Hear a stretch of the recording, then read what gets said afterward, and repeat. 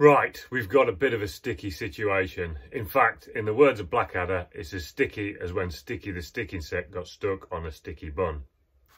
So, for the past two years, I've been doing a monthly drone visit to a uh, 19th century warehouse that's falling down. Now, because it's falling down, I have to send my drones in to photograph it all so that surveyors can keep an eye on it while they work out what's what they're going to do with the place. Now, drones are pretty smart. They know where they are. They use GPS and downward-facing sensors to pick up textures in the floor, which enable it to hold a position while I use the camera control to point my camera and photograph bits of the warehouse. For 22 months, it's worked flawlessly. However, something changed last month that's affected my drone. One of the features of this warehouse is the huge skylights in the vaulted ceilings.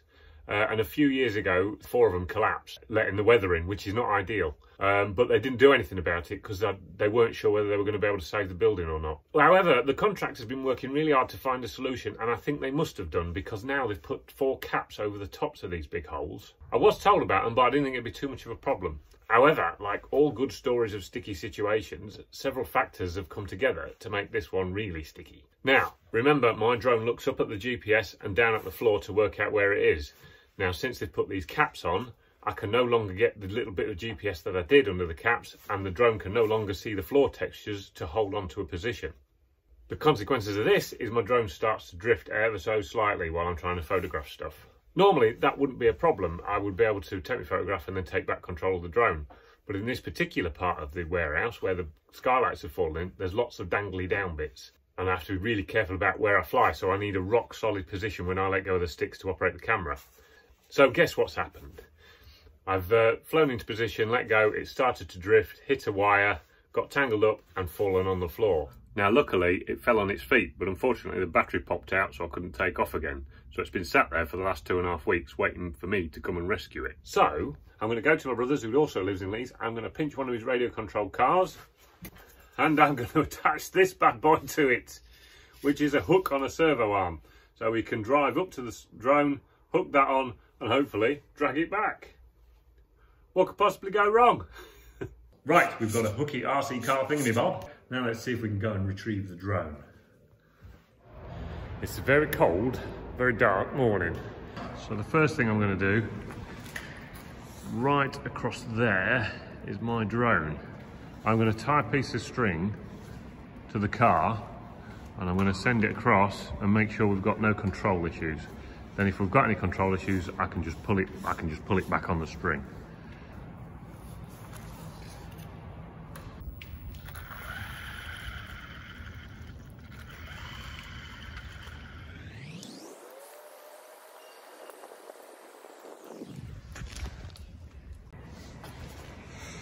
Right, well that's a little bit worrying. It goes forward all right, but reverse is a bit temperamental. So that's not what I want. Hmm, that's a bit of a problem. What I think I'm gonna do, because I've got two controllers and two receivers on there, one to operate the car, one to operate the arm, I'm gonna switch the controllers around just in case it's a problem with the controller. Hopefully it is.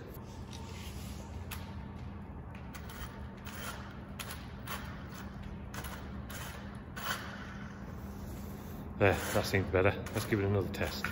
Next test, I'll hover the drone to make sure we've got no signal interference with the drone between the drone and the car. So I'll hover the drone, drive the car more or less over there, and then drive it back. If that's okay, we'll go for a run.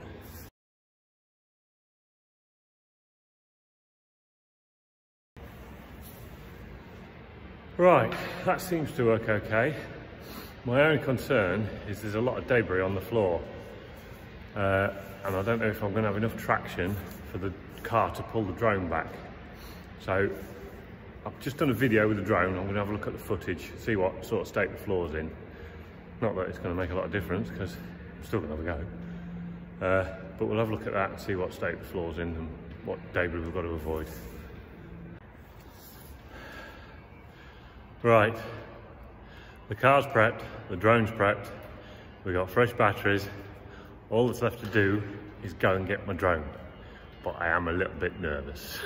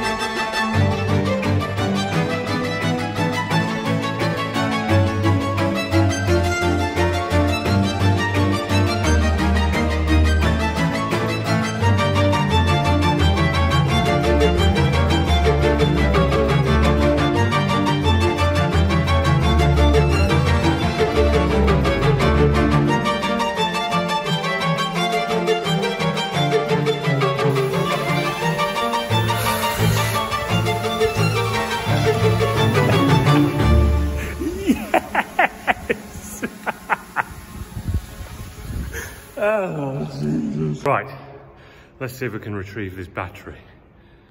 Now, I've taken the arm off because I think my best chance is going to be just push shunting it because there's not a lot to get hold of on these batteries. So we'll give that a go.